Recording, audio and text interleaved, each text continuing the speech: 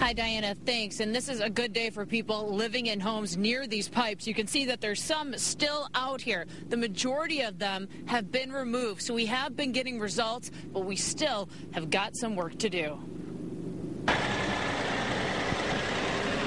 Trucks with flatbeds hauled away large drainage pipes from behind homes in the Heatherwood subdivision in Chesterfield Township Tuesday.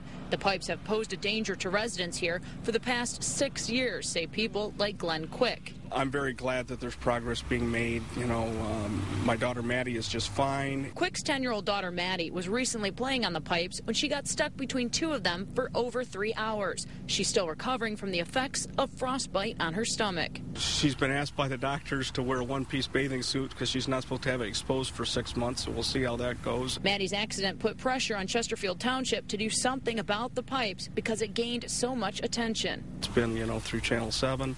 Uh, certainly, I think uh, with with people calling on other people, I'm I'm sure that can only but help the um, um, situation. It's a situation that's still developing. After several calls from Channel 7, the Anchor Bay School District agreed to remove the pipes on their property, which is more than half.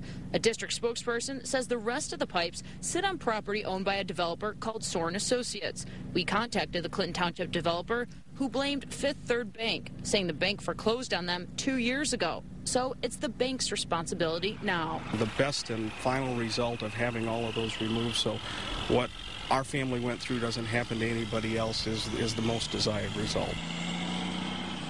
The result we're trying to get out here. We left several messages today for Fifth Third Bank. They have not returned our calls yet, just yet. So this is something we're still working on out here, and hopefully we can get this resolved, especially because there's no fence around these pipes. So of course anybody still has access to them. For now, we're live in Chesterfield Township. Julie Banovic, Channel 7, Action News. All right, Julie, thank you very much.